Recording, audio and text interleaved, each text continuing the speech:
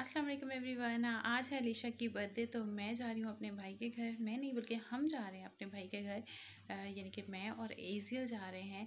तो अभी मैं रेडी होंगी तो इससे पहले कि मैंने कहा रेडी हो जाऊँ तो मैं आपको बता दूँ आप रहिएगा हमारे साथ और हम आपके साथ शेयर करेंगे आज का व्लॉग जो है अलीशा की बर्थडे स्पेशल। ना था रेडी बट इजी तो नहीं चाह रहा कि मैं बिल्कुल भी रेडी हूँ। यार ये देखिए चिपका हुआ मेरे साथ छोटा सा बच्चा।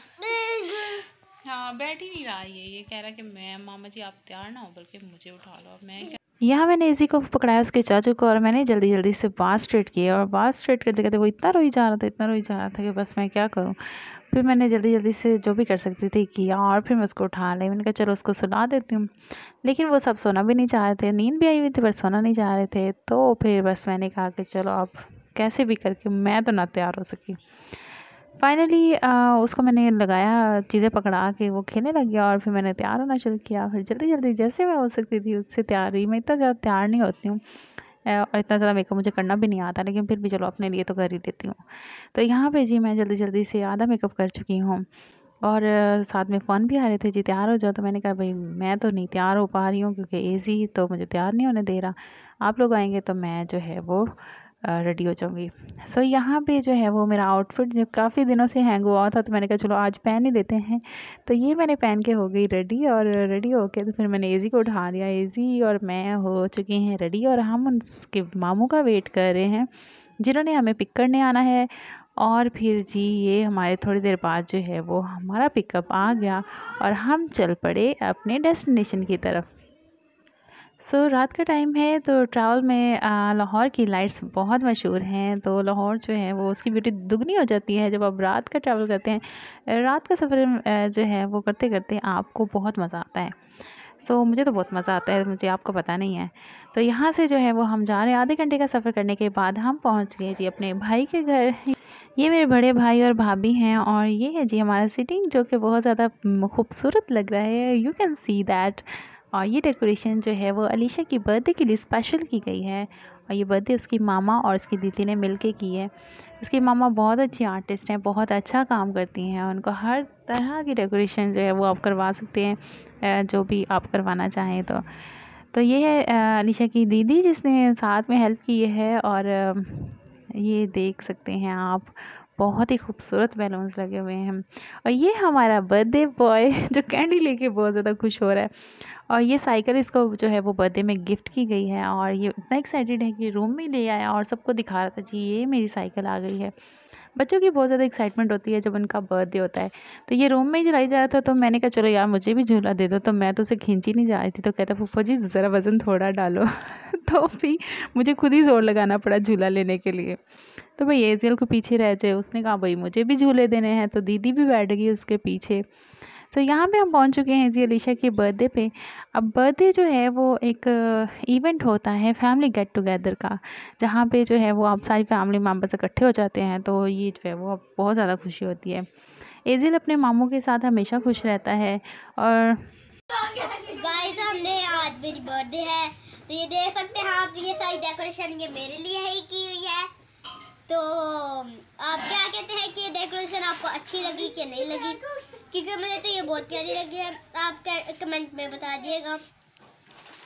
ये है गाय मेरे गिफ्ट जो कि मेरे बहन भाई मुझे बताए भी है गिफ्ट में क्या है।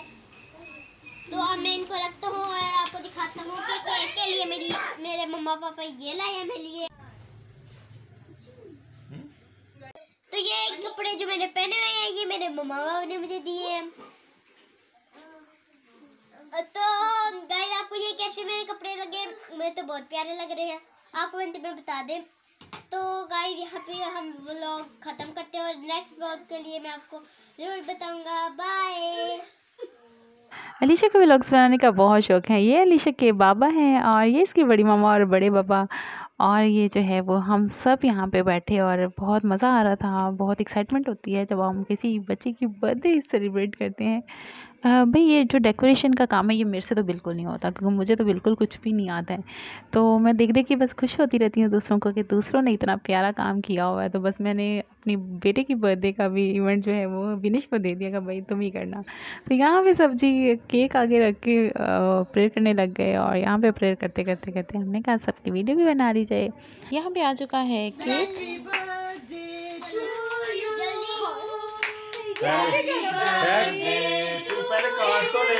नहीं नहीं पहले happy birthday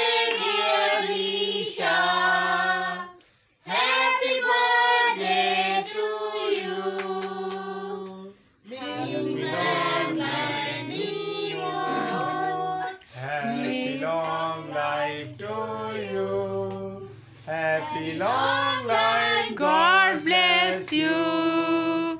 Happy birthday to you. तो हर किसी ने अपनी अपनी राग में बर्थडे सॉन्ग गा लिया है। ये अलीशा की मामा है। अलीशा की मामा बहुत ज़्यादा टैलेंटेड हैं। सो so, यहाँ पे वंस अगेन सब हाय बाय करते हुए आपको नज़र आ रहे हैं। तो ये जी अलीशा ने अपने गिफ्ट्स को जो है वो खोलना शुरू कर दिया। और लिशा जो है बहुत ज़्यादा एक्साइटेड होता है अपने गिफ्ट्स को देख के। उसको ये था कि बस मैं खोल के देख लूँ कि उनमें है क्या? तो अलीशा जो है वो मेरा बहुत ही प्यारा बेटा है।